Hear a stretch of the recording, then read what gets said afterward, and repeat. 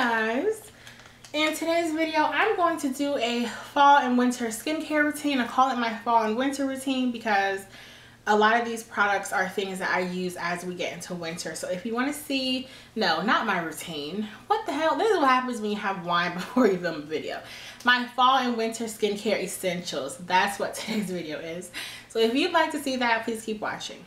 During the fall and winter my skincare changes a little bit um, normally I have oily skin, but in the fall and winter my skin changes to kind of normal slash dehydrated, which basically means my skin is just lacking a lot of moisture, which is common um, in people with oily skin because they think since they're oily, they don't need a lot of moisture, but everybody needs moisturizer. So that's my number one tip is no matter what skin type you have, you definitely need moisture. It's important for you in the summer and spring seasons as well as the fall and winter. I'm also going to post a link down below to my essentials last year. They probably have not changed a lot, but I know I have gotten a couple products since then that are really essential in my skincare routine. Let's sort of start in order with cleansing. The cleanser that I love for the winter time and fall is the Peter Thomas Roth Rose Stem Cell Cleanser.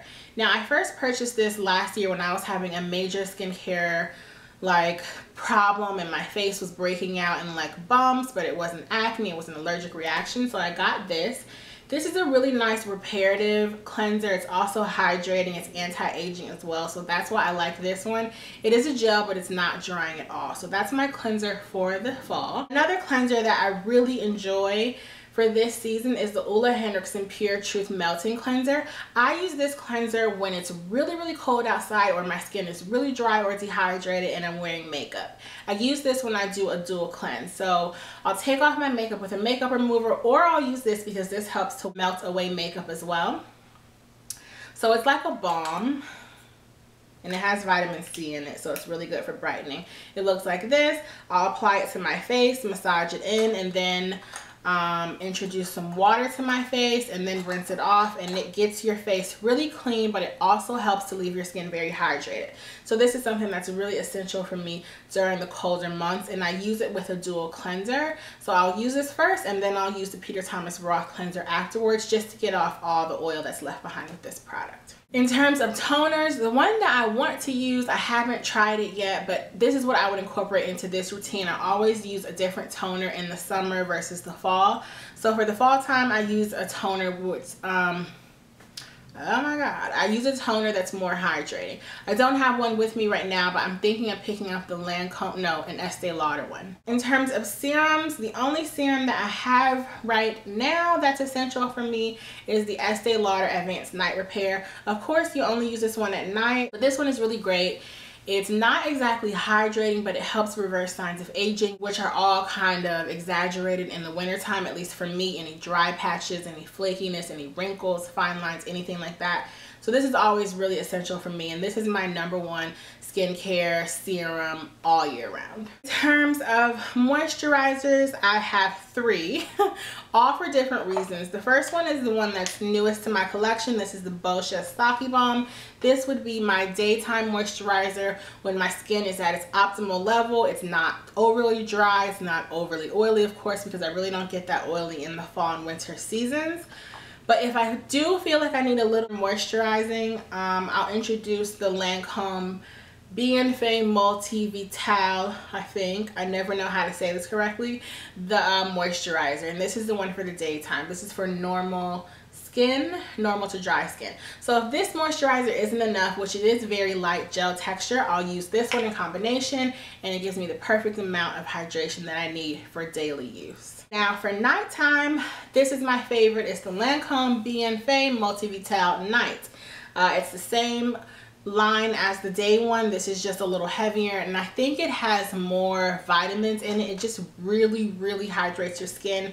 When you wake up your skin will be really soft and supple. So that's my number one night cream. When I want to impart radiance in my face in the fall and winter seasons I don't like to use anything that's too harsh or abrasive on my face because it can dry my skin tone out not my skin tone because it can dry my skin out so I like using this this is the First Aid Beauty Facial Radiance Overnight Mask. So it hydrates your face because it's an overnight mask and it's sort of like a gel cream.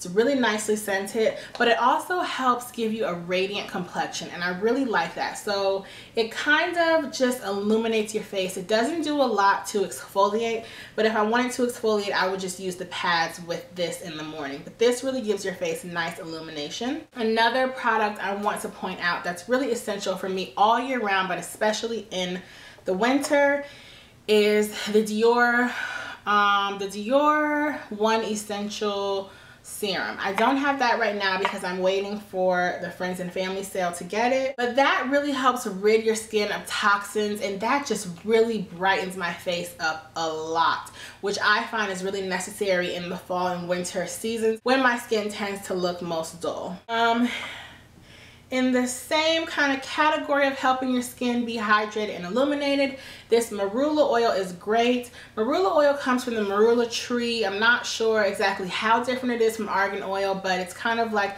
the new and improved version of argan oil. I love this. This is a 100 point perk that I got from Sephora. I put this on my face when I'm getting any dry patches. If I feel like maybe around this area or um, my cheeks or my chin, if anywhere is feeling really tight at night, I will put this marula oil on just to give me that extra boost of hydration.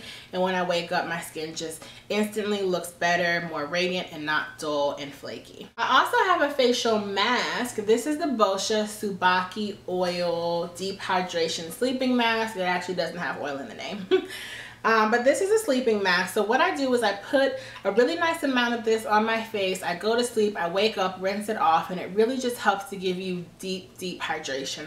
I love all of Boscia's products, and this one is really nice. I started using this last year as well, and this is essential for me in the fall and winter time. One more skincare product for like face this lip balm is everything. I talk about it in all my skincare routines, my essential videos, everything.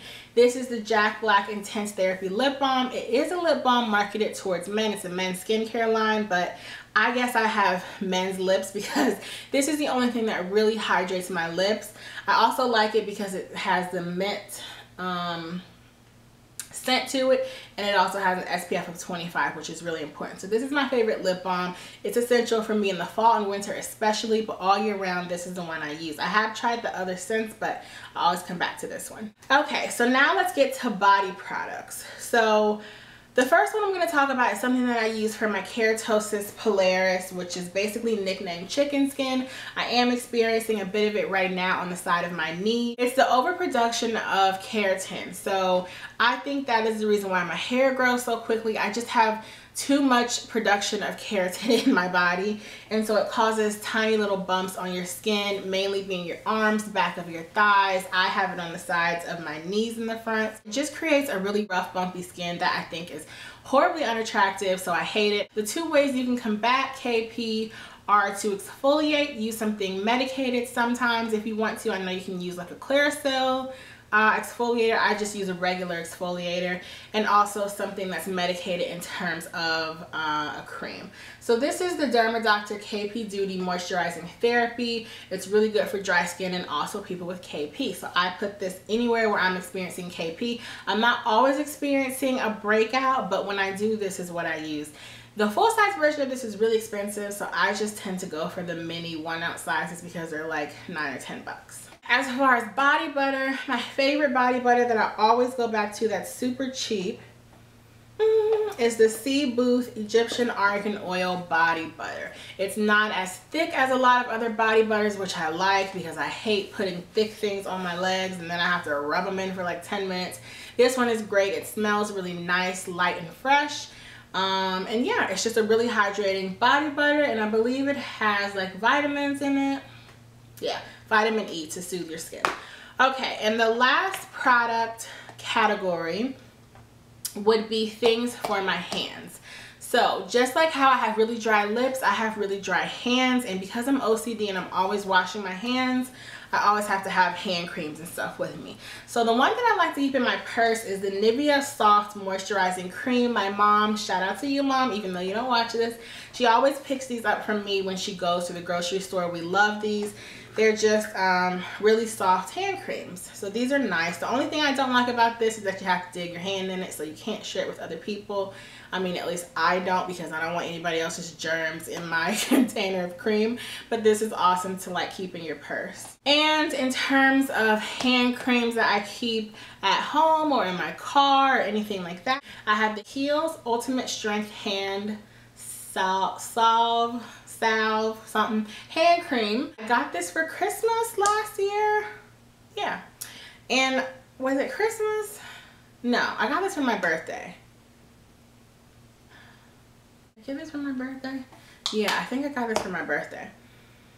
So this one, it's not the thickest, but it is a very nice formula. It's not very heavy, which is good because I don't like putting heavy things on my hands. It's very, very, very hydrating. It has a light medicinal scent, but not too much. It kind of smells like mint. This is really nice, but yeah, that's everything I have to share with you guys for this video. I hope you enjoyed it. If you have any comments or questions, feel free to leave them down below. Like I said, I'll post my video from last year. And yeah, thanks so much for watching. See you in the next one. Bye.